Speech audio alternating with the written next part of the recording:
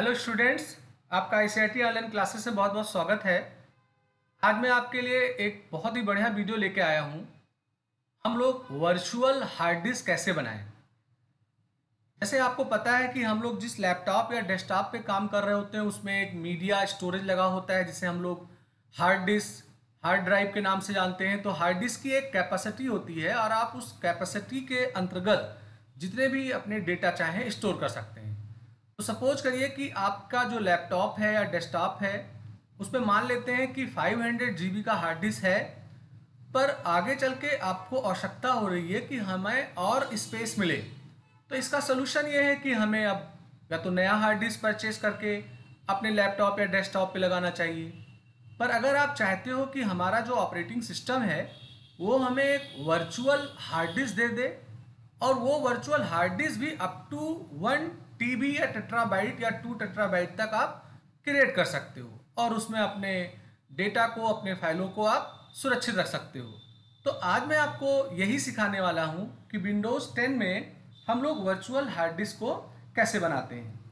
तो देखिए, इसको बनाने के लिए आपको करना ये होगा कि सबसे पहले तो जो आपका डेस्कटॉप है डेस्कटॉप पे दिस पीसी करके जो आइकन है, उसमें माउस का राइट बटन क्लिक करिए। और आप मैनेज में चले जाइए। तो जैसे ही मैनेज पे आप क्लिक करेंगे तो थोड़ा सा वेट करने पे आपके सामने एक डायलॉग बॉक्स आएगा। और उस डायलॉग बॉक्स में आपको बहुत सारे ऑप्शंस मिलेंगे। जैसे आप देख रहे होंगे तो यहाँ पर एक मिल रहा है डिस्क मैनेजमेंट तो आप डिस्क मैनेजमेंट पे क्लिक कर दीजिए।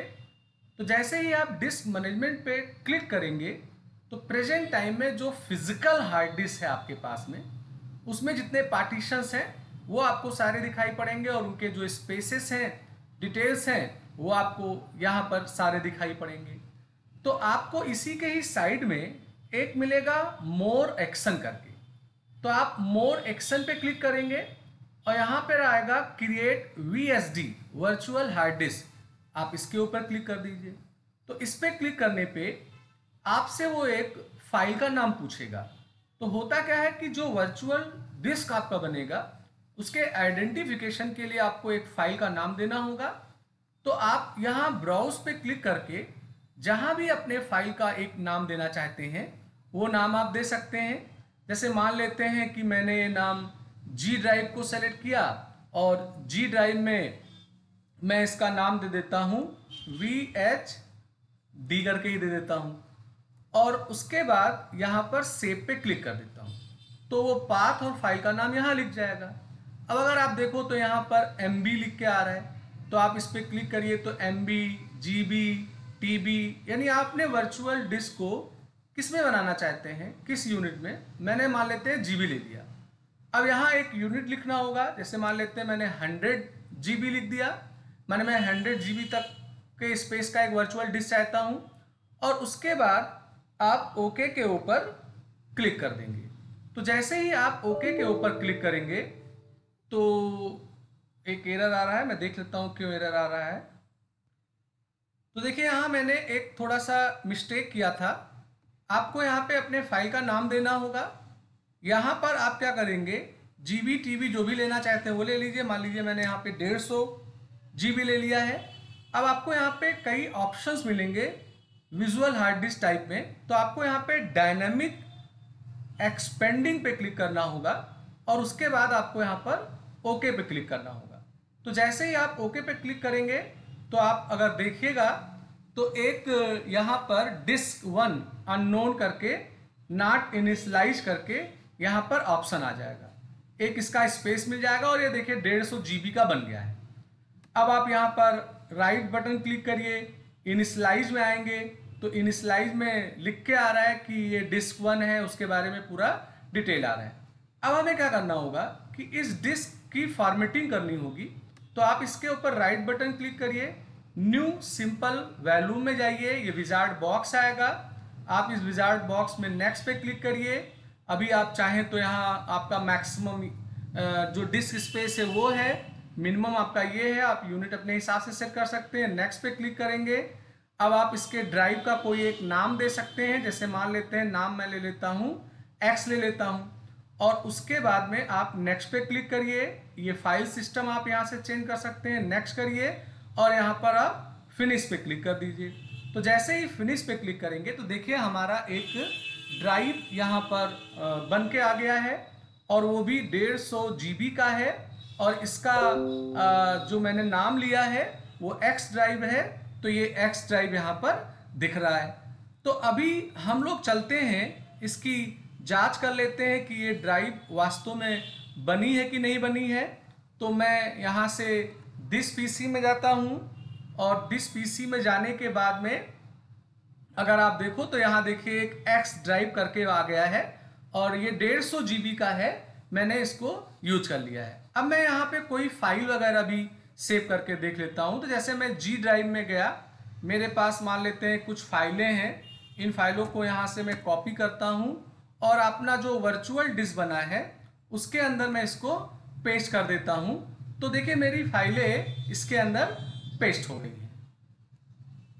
अब आपको डेढ़ सौ जीबी का एक वर्चुअल डिस्क मिल गया है हार्ड डिस्क अब आप इसको अच्छे से यूज़ करिए। मगर यहाँ पर एक बात आपको ध्यान देना होगा। कि जब आप अपने कंप्यूटर को शट डाउन करेंगे या रिस्टार्ट करेंगे तो जब रिस्टार्ट होने के बाद या शट डाउन होने के बाद दोबारा आप सिस्टम को ऑन करेंगे तो ये एक्स नाम का जो वर्चुअल हार्ड डिस्क है, ये आपको नहीं दिखाई पड़ेगा। तो उसको देखने के लिए क्या करना होगा? मैं रिस्टार्ट इसलिए नहीं कर पा रहा हूँ, चूँकि मैं वीडियो रिकॉर्ड कर रहा हूँ। आप अपने सिस्टम पे करके देखिएगा। तो अगर वो हाइड हो जाता है, नहीं दिख रहा है तो आपको फिर दिस पीसी के राइट बटन क्लिक करके मैनेज में जाना होगा। और मैनेज के बाद जो डायलॉग बॉक्स खुल के आएगा, थोड़ा मैं मैक्सिमाइज कर लेता हूँ। तो जो डायलॉग बॉक्स खुल के आएगा, यहाँ पर डिस्क मैनेजमेंट तो डिस्क मैनेजमेंट में फ़िलहाल अभी मेरा वो एक्स वाला दिखेगा, चूँकि मैंने अभी पीसी को रिस्टार्ट या शट डाउन नहीं किया है। जब आप शट डाउन करके फ्रेश ऑन करेंगे तो ये एक्स वाला नहीं दिखेगा। तो यहाँ आप मोर एक्शन में जाएँगे। और यहाँ अटैच VSD मिलेगा। तो आप अटैच VSD में जाएँगे तो आपसे वो वो ये, वो फ़ाइल का नाम पूछेगा जो आपने वर्चुअल हार्ड डिस्क बनाते समय दिया था। तो अगर आपको याद हो तो मैंने जी ड्राइव में एक VSD करके नाम दिया था। तो जी ड्राइव में देखिए वी करके है, आपको इस फ़ाइल को सेलेक्ट करके ओपन करना होगा। तो उस फ़ाइल का नाम लिख जाएगा और जब आप ओके करोगे तो वो डिस्क आपको दिखने लगेगा। तो फ्रेंड्स इसका एक फ़ायदा ये भी आप कह सकते हैं कि अगर आप अपने लैपटॉप या डेस्कटॉप में कुछ हिडन ड्राइव बना के उसमें डेटा रखना चाहते हैं तो उसके लिए भी एक बहुत अच्छा तरीका है कि आप एक वर्चुअल पार्टीशन बना लीजिए और उसमें आप डेटा अपने स्टोर कर सकते हैं।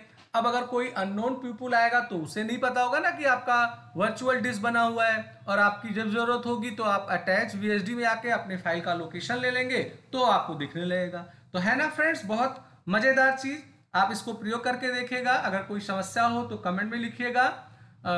मुझे उम्मीद है कि ये वीडियो आपको काफ़ी पसंद आया होगा।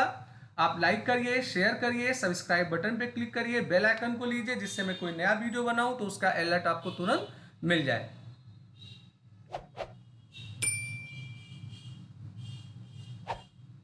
तो आज का वीडियो मैं यही समाप्त कर रहा हूँ। आ, आपका दिन शुभ। Thank you.